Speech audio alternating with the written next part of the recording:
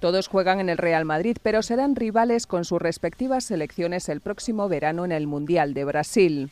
El club merengue ha reunido en una rueda de prensa a Casillas, Cristiano Ronaldo, Luca Modric, Marcelo, Karim Benzema y Ángel Di María dos días después del sorteo de la gran cita del fútbol mundial.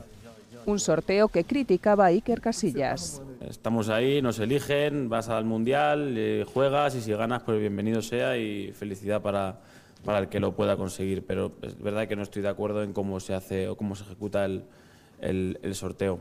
España defiende el título y parte como favorita, según reconocía el brasileño Marcelo, que se enfrentará al croata Modric en el partido inaugural. También el argentino Di María, que afirmó que su país quiere su tercer mundial, como Portugal, porque Cristiano Ronaldo reconocía que es un trofeo especial. Yo encaro los partidos siempre igual.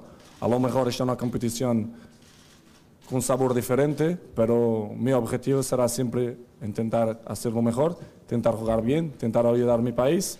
A la cita de mundialistas blancos faltó el alemán Kedira, que se recupera de una grave lesión de rodilla, pero sus compañeros quisieron que su camiseta sí posara para las fotos.